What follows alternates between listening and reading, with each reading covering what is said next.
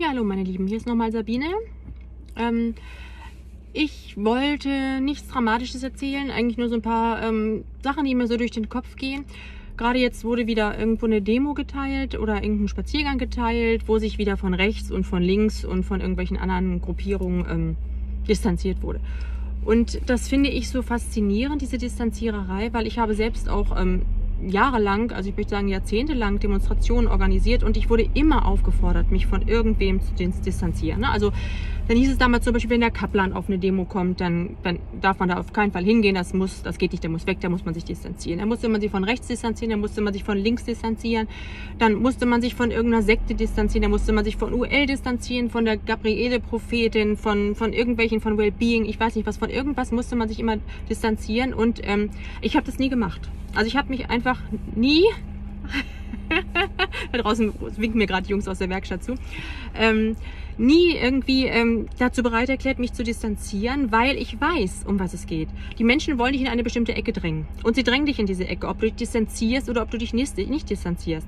Du siehst es an Trump im Moment. Ne? Der Trump hat eine Rede gehalten, wo er gesagt hat, die Leute sollen ruhig bleiben, die sollen keinen Krawall machen, die sollen friedlich sein und so weiter. Und was haben sie gesagt? Er hat zu Gewalt aufgerufen. Ne? Ob er zu Gewalt aufgerufen hat oder nicht, das ist dabei völlig irrelevant. Es wird einfach behauptet.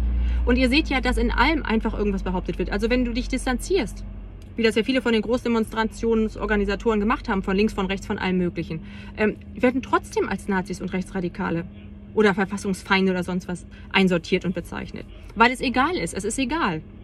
Sie finden immer irgendeinen Beweis dafür, dass du angeblich so bist, wie sie sich ausgedacht haben, wie du bist oder wer du bist. Es hat keinen Sinn. Das Einzige, was passiert ist, sie spalten, sie spalten uns und sie bringen uns in eine Ecke, in die sie uns haben wollen. Das ist das Einzige, was dabei rumkommt, sonst nichts. Also ich würde mich niemals von irgendwem distanzieren. Wenn ich es nicht selber will und mir überlegt habe. Aber nicht, weil jemand sagt, distanziere dich von dem. Niemals, also wirklich niemals. Ich sehe nicht ein, was der Sinn da bringen soll. Und wir sind rechtsradikale Nazis und wir bleiben rechtsradikale Nazis. Und da könnt ihr hundertmal beweisen, dass ihr ganz tolle Menschenfreunde seid, dass ihr weder sexistisch noch rassistisch noch schwulenfeindlich noch, noch sonst was seid. Die wollen, dass ihr es seid und dann seid ihr es. Hm? Deshalb, wie gesagt, diese Distanziererei sehe ich nicht ein. Und was ich auch nicht verstehe, ich kann mich jetzt natürlich nicht so aufspielen, weil ich bin nicht in Deutschland. Ich weiß nicht, wie schlimm es ist. Also ich kriege nur immer Berichte davon, wie schlimm es ist. Aber ob es wirklich so schlimm ist oder wie man sich dabei fühlt, weiß ich natürlich nicht. Ich reise seit einem Jahr rum. Ich bin eigentlich immer nur in Ländern, wo das Ganze friedlich ist. Deshalb bin ich jetzt ja auch noch eine Woche in den USA, danach wieder weg, weil dann geht es ja hier rapide bergab. Ne? Also das wird rapide bergab gehen hier. Das wird man das kann man jetzt schon mit, mit also man kann es jetzt schon spüren, wenn man mit Leuten halt spricht. Ne? Und ähm, deshalb weiß ich natürlich nicht, wie schlimm und wie schrecklich das in Deutschland ist. Aber ich verstehe trotzdem nicht, dass man auf eine Demo geht oder eine Demo oder einen Spaziergang oder sonst was organisiert und vorher sagt, bitte bringt eure Masken mit, haltet den Abstand ein. Und äh, ja, nächsten, nächsten Mal ist es dann wahrscheinlich noch, weil denn ja das Gesetz sein wird, es darf nur noch eine Veranstaltung gemacht werden und eine Demo gemacht werden, wo alle geimpft sind. Lasst euch vorher impfen. Oder was? Oder bringt euren negativen Covid-Test mit. Man kann doch nicht gegen irgendwas demonstrieren und dann dabei genau das mitmachen. Also ich weiß, ich bin zu blöd, ich kapiere es einfach nicht. Ich bin zu blöd. Also das ist, ist mir rätselhaft, ne? Ist mir rätselhaft. Also wie gesagt, und ich glaube auch nicht, dass es was bringt, weil ähm, die, wie gesagt, auch damit werdet ihr in eine Ecke gedrängt, in die sie euch haben wollen und das wird nichts nutzen. Genau wie mit der Impfung. Also ich habe ja wirklich die Hoffnung, weil wenn ich auch denke, so die Pflegekräfte jetzt, die sich alle nicht impfen lassen wollen, wenn die wirklich zusammenhalten, und sagen, wir machen das nicht. Oder wenn es auch nur 60 Prozent sind, die es nicht machen und die dann zur Not sagen, okay, dann legen wir die Arbeit halt nieder, dann würden natürlich die Regierenden und die da irgendwie die Leute gerne impfen wollen und so weiter, die werden dann doof aus der Wäsche gucken und dann wird natürlich da vielleicht irgendwie, vielleicht nicht umgeschwenkt, aber vielleicht nachgedacht oder irgendwie uns eine Gnadenfrist nochmal gemacht, in der wir vielleicht auch noch irgendwie andere Sachen auf die Beine stellen können. Aber ähm, ob diese Solidarität unter den Leuten, die sich nicht impfen lassen wollen, wirklich so da ist, das ist halt die Frage. Weil viele Leute haben, brauchen den Job. Die haben ein Haus, das sie abzahlen müssen, die haben Kinder, die haben Familie, die haben irgendwelche Kredite am Laufen. Und ähm, ob die dann wirklich sagen, okay, dann melde ich mich arbeitslos und lege mich erstmal hin und warte, was passiert. Ob die das durchhalten, das ist die Frage. Es wäre natürlich schön, aber ich weiß nicht, ob in Deutschland diese Solidarität so vorhanden ist. Es gibt ja immer Streikbrecher, das ist es ja, es gibt ja immer Streikbrecher und die verderben dann natürlich alles. Aber trotzdem wäre natürlich zu hoffen, dass die Leute zusammenhalten. Wobei ich es auch witzig finde, oder nicht eigentlich witzig, aber die schreien nach Maske die schreien nach Maßnahmen, die glauben diesen ganzen Corona-Schmonzes und trotzdem lassen sich nicht impfen. Die müssen doch eigentlich jetzt ähm, übersprudeln vor Glück, dass sie jetzt diese tolle Impfung haben, ne, mit der alles gut wird. Aber da ist dann natürlich auch wieder, weil die Leute dann sehen, es geht gegen sie selber und gegen ihren Körper, was sie bei den Masken nicht so direkt gesehen haben. Wobei das auch gegen die Gesundheit natürlich geht, aber braucht man gar nicht drüber reden. Ähm, weiß man nicht irgendwie, wie sich das halt so entwickelt. Mit den Masken ist ja auch der Hit, ne? FFP2. Ich bin ja dafür drei oder vielleicht gibt's ja auch sieben oder sowas, kann man auch noch erfinden. Aber das Tolle ist ja, wenn die so toll helfen, deshalb werden die jetzt ja auch vorgeschrieben, weil sie toll helfen, dann könnten ja eigentlich die, die Angst vor einer Krankheit haben, diese Maske aufsetzen und fertig. Und die anderen gar nicht.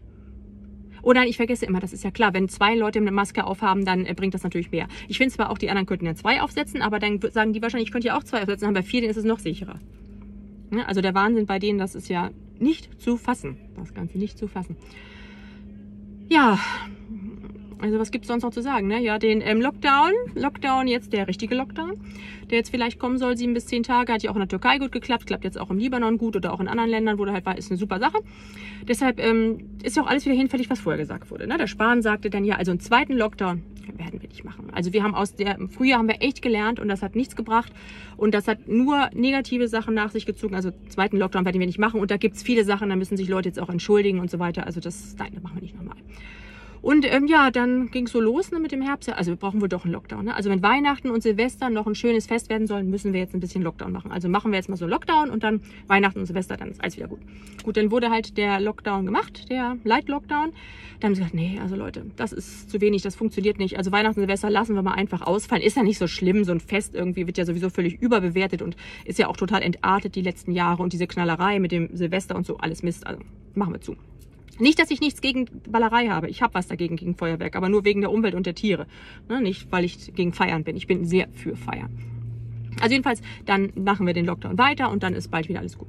Gut, also dann Lockdown, aber der muss härter werden. Also dieser Lockdown, der ist einfach noch zu luschig, das kann auch nichts bringen und die Werte sind immer noch viel zu hoch. Und ähm, auch wenn wir aufhören würden zu testen und die Pandemie dann eigentlich vorbei wäre, weil wir dann nicht mehr Tote hätten als Grippe und Lungenentzündung sonst auch jedes Jahr irgendwie, nein, geht nicht. Also härterer Lockdown.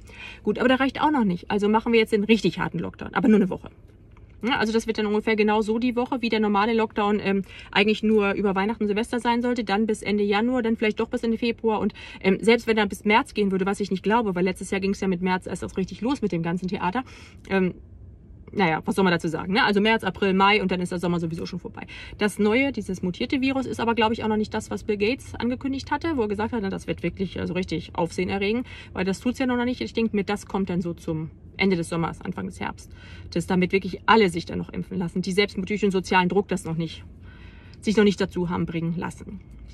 Ja, die Impfung, ne, finde ich ja auch toll. Ich meine, Deutschland hat quasi den PCR-Test für diese ganze Corona-Sache erfunden und die Impfung dafür erfunden und ähm, hat die besten Politiker mit den härtesten Maßnahmen, mit dem besten Gesundheitssystem und so weiter und so fort. Und trotzdem sind unsere Zahlen schlechter als die von anderen Ländern oder von der Welt insgesamt. Man kann ja so die Welt insgesamt nehmen. Zwei Millionen ähm, mit Corona-Tote im Vergleich zu 3,2 Millionen Menschen, die jedes Jahr an Grippe und Lungenentzündung sterben. Also sind das diesmal sogar Corona-mäßig noch weniger. Und wenn man die anderen wahrscheinlich jetzt zählt, wird wahrscheinlich da auch die Zahl runtergegangen sein, wie auch bei Krebs und Herzinfarkt und allem. Also sind die alles nur noch Corona-Tote. Also weltweit, wie gesagt, sind ähm, 2 Millionen zu sonst 3,2. Und bei uns in Deutschland sind die Zahlen ja irgendwie viel schlechter. Ne? Also selbst wenn man bei uns halt Lungenentzündung und ähm, Grippe zusammenzählt von schlechten Jahren, dann bist du so bei 40, 45.000, lass es 50 sein. Und selbst da sind wir mit den Corona-Toten ja schon fast. Also wir haben wirklich ganz, ganz schlechte Zahlen im Vergleich zu anderen Ländern. Liegt aber natürlich daran, die anderen Länder, die faken ihre Zahlen. Ne? Also in Wirklichkeit, Tansania oder auch Uganda oder andere afrikanische Länder, da sind Millionen gestorben, hunderte Millionen. Also die liegen quasi überall auf der Straße rum. Ich war ja da. Ne? Also die Leichenberge, die müssen dann nachts immer weggeräumt werden, weil es voll ist mit Leichen. Und jeder kennt mindestens 20 Leute, die an Corona erkrankt oder gestorben sind. Alles ganz furchtbar. Nein, natürlich nicht. Ich meine, ich war da. Ja? Mehrere Wochen. Ich habe mit vielen Leuten gesprochen. Keiner kannte einen, der an Corona gestorben ist. Es kannte nicht mal jemand einen, der auch nur erkrankt war an Corona. Es gab keine Masken. Es gab keinen Lockdown. Also im Frühjahr gab es einen Lockdown, aber da haben die Leute revoltiert, dann wurde es wieder aufgehoben. Es gab kein Social Distancing. Es gibt an einigen Ecken Desinfektionsmittel, das aber fast keiner benutzt. Die Geschäfte sind auf, die Restaurants sind auf, die Leute spielen draußen Fußball, alles. Und trotzdem liegen keine Leichenberge rum. Warum nicht? Verdammt, warum nicht? Warum ist es bei uns so? Warum? Mann, rafft das doch einfach mal. Ich könnte echt immer durchdrehen. Ich könnte echt immer durchdrehen. Und auch bei uns habt ihr euch die ganzen Leichenberge mal angeguckt. Jetzt kommt alleine, ja, es sind so viele jetzt gestorben, also ganz furchtbar viele sind gestorben. Deswegen ähm, war ja richtig so ein, so ein Beerdigungsstau oder so ein Krematoriumstau. Ja, und warum? Weil zwischen Weihnachten und Neujahr keiner da war, der Sterbeurkunden ausgefüllt hat. Deshalb mussten die alle auf Halde liegen. Und die Dame, eine Dame, die da befragt wurde aus dem Krematorium, hat gesagt, das ist jedes Jahr so. Weil da einfach keiner ist, der sich darum kümmert. Es ist jedes Jahr so. Oder die Tatsache, dass mehr Leute dieses Jahr irgendwie verbrannt wurden oder kremiert wurden oder beerdigt wurden. Woran liegt das? Weil sonst in den Jahren viele auch ins Ausland ins Krematorium geschickt wurden, weil es billiger war. Das war dieses Jahr aber nicht erlaubt. Also mussten sie bei uns ins Krematorium. Mann, echt. Und die Übersterblichkeit, die angeblich vorhanden ist, ihr braucht doch einfach nur mal gucken, guckt euch doch mal die Zahlen an bei Professor Homburg zum Beispiel. Guckt euch doch einfach mal die Zahlen an oder guckt meinetwegen auch sogar auf die RKI-Seite oder bei Statista oder so. Und selbst wenn es 10% mehr Tote wären, das ist in normalen Grippejahren auch mal passiert, dann ist es vielleicht ein extremes Grippejahr, vielleicht, was ich auch nicht glaube, aber meinetwegen lass es das sein. Aber es ist doch kein Killer-Virus, wenn nicht wirklich in einem Land, in Deutschland, da wohnen 82 Millionen. Ne? Wenn da 10% der Menschen sterben, dann würde ich auch sagen, das ist nur Horror, jetzt muss aber was passieren. Aber das sind 0,0 irgendwas, Leute. Und dann nicht zu verstehen, dass es um was anderes geht. Ich habe mir vorhin zum ersten Mal, ich habe sonst immer die Texte von dem Schwab gelesen und die Bilder dazu geguckt, mal ein Video länger angeguckt. Wie der Mann redet. Der redet ja noch schlimmer Englisch als Frau von der Leyen und ich. Und der will irgendwie jetzt da einen Weltreset-Plan irgendwie sich ausdenken. Es ist nicht zu fassen. Was für ein Englisch. Also ganz schlimm. Thank you. Thank you. Also furchtbar.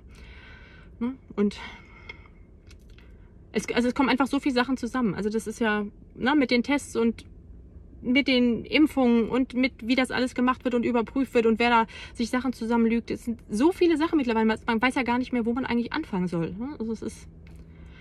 Ich gucke mir dann manchmal meine alten Videos an, die ich seit März ja schon mache, wo ich auch Sachen vorhergesagt habe und so, die alle eingetroffen sind. Ja, jetzt kommt zum Beispiel das ähm, bedingungslose Grundeinkommen, das ja nicht bedingungslos ist, aber ist natürlich eine schöne Art, sich Wählerstimmen zu kaufen und Leute auch ruhig zu halten, indem sie halt einfach dann ihr Geld in die Hand gedrückt kriegen und fertig. Ja, lasst euch schon impfen, alles klar. Und dann macht ihr mit dem Punktesystem noch euren Sport, dann kriegt ihr vielleicht noch 50 Euro mehr, sollte alles klappen. Leute, echt, guckt mal hin, denkt mal mit. Ne? Bedingungsloses Grundeinkommen, diese ganze Sache. Mit den Impfungen, mit den Bargeldabschaffung, spätestens in fünf Jahren wird es kein Bargeld mehr geben. Mit dem Geld, das sie jetzt den Leuten aus der Tasche leiern wollen, um irgendwie ähm, diese ganzen Sachen jetzt zu bezahlen, auch den Full Lockdown und so weiter. Kriegt ihr das nicht mit? Der Mittelstand soll weg. Sie wollen die ganz Reichen haben, die alles bestimmen, die ganz Armen, die alles mitmachen und froh sind, wenn sie 1000 Euro in die Hand gedrückt bekommen und das war's. Leute, die irgendwie mitreden wollen, Leute, die irgendwie das Ganze finanziert haben, Leute, die wirklich meinetwegen sagen, ich will nicht so viel Steuern zahlen, ich will nicht irgendwie den ganzen Papierkram haben, ich will jetzt für mein Geld auch mal was sehen und Politiker, die was machen. Das geht den Leuten am Arsch vorbei.